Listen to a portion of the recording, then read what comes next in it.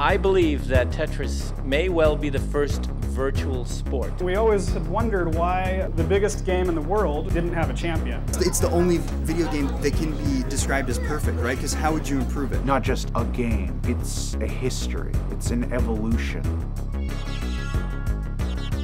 I've been playing Tetris for like 20 years. I don't even want to know how many hours I've played Tetris. I play like nonstop. The one trick to training in Tetris is to be always almost dead. I daydream during the day. I'll, I'll sit and play Tetris in my head. I have Tetris dreams at night. The mind kind of has like a buffering kind of RAM situation. Yeah, it is almost a degree of like you're programming yourself to do it. Things are changing. It's really fluid, and it just is always like morphing into a new thing that you're just constantly reacting to. You have to think four or five steps ahead in one second. It's moving faster than onlookers can actually perceive the game. These guys are thinking it.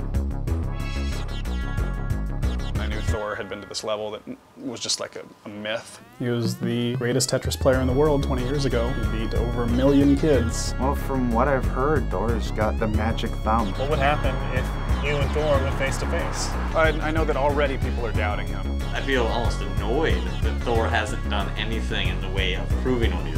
Unless he's like a finger tapping god. When you get to 30, it's like these Tetris giants are just throwing pieces at you as hard as they can.